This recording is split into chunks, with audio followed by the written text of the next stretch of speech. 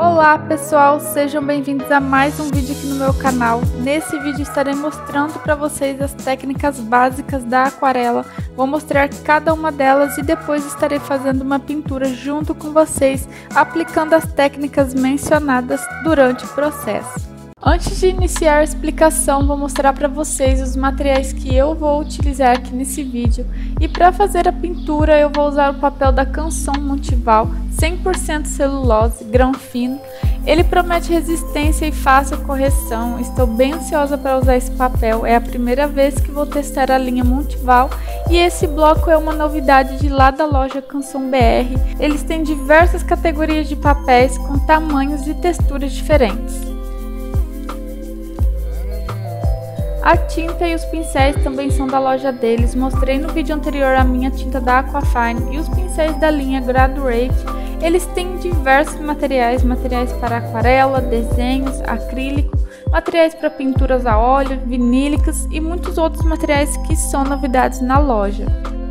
Vou deixar mais informações aqui na descrição do vídeo e o Instagram deles para que vocês possam ir lá conferir os materiais também, ok? Agora, voltando para as técnicas básicas da aquarela que vou mostrar aqui. Começando pela técnica úmida, essa técnica consiste em aplicar sobre o papel água limpa e depois a tinta sobre a água que está no papel. Com essa técnica dá para fazer diversos efeitos na aquarela, uma pintura bem livre onde as cores se misturam umas nas outras de forma bem aleatória com apenas um toque do pincel molhado de tinta sobre a água. É como se a aquarela tivesse vida própria.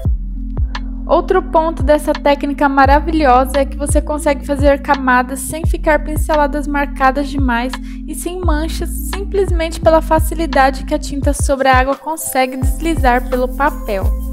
A técnica seca é quase o oposto da úmida. Para ter esse efeito ao seu favor, basta usar pouca água na hora de pegar a tinta e aplicar sobre o papel totalmente seco. Com essa técnica, podemos ter diversos efeitos de pinceladas e texturas sobre o papel, além de que essa é a técnica chave para fazer aqueles detalhes com mais precisão.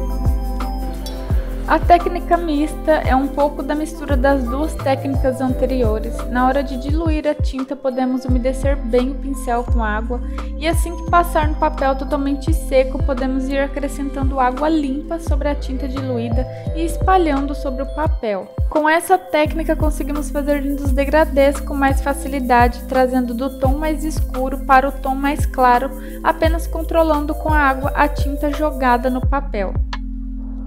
Depois de entender um pouco sobre cada técnica, vamos iniciar a pintura. Eu cortei a folha porque a pintura terá um estilo de foto polaroid.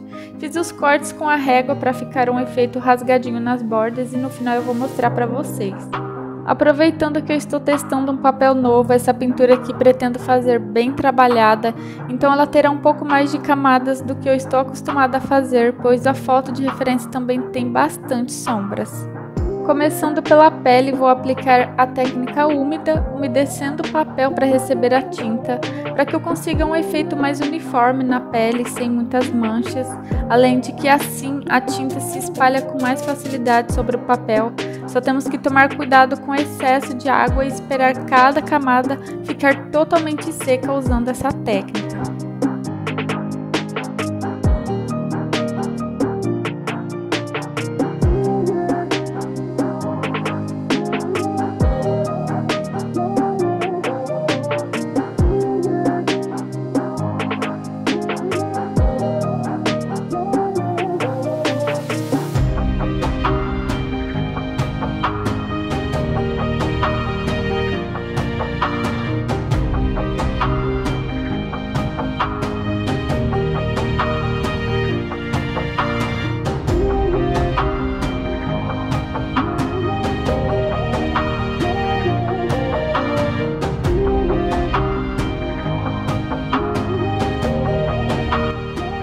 Cabelo eu usei a técnica mista, apliquei a tinta diluída na água sobre o papel seco e depois fui acrescentando água para espalhar a tinta sobre o papel.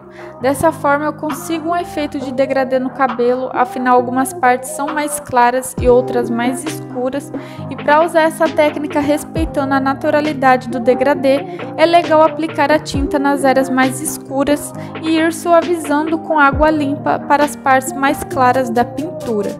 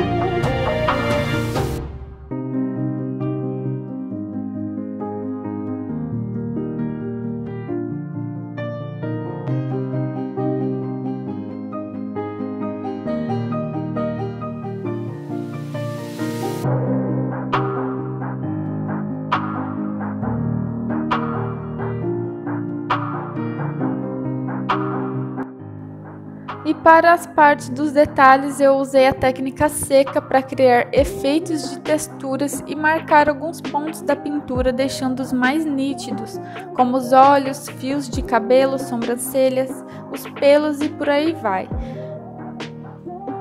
Para usar essa técnica ao nosso favor, precisamos ordenar as pinceladas do pincel de acordo com o efeito que queremos fazer e usar pouquíssima água na hora de pegar a tinta, aplicando sobre o papel seco. E quanto menor a quantidade de água, mais concentrado o pigmento e melhor o resultado para essa técnica.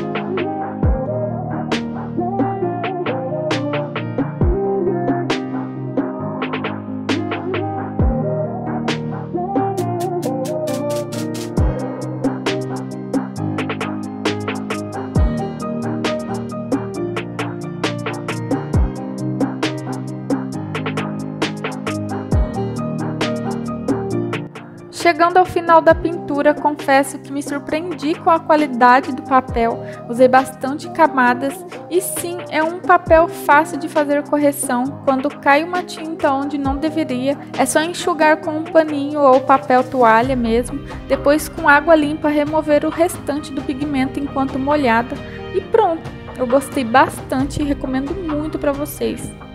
E o que vocês acharam do resultado? Essa pintura é para uma encomenda muito especial, vai ter vídeo embalando ela lá no meu Instagram, então já corre me seguir por lá também.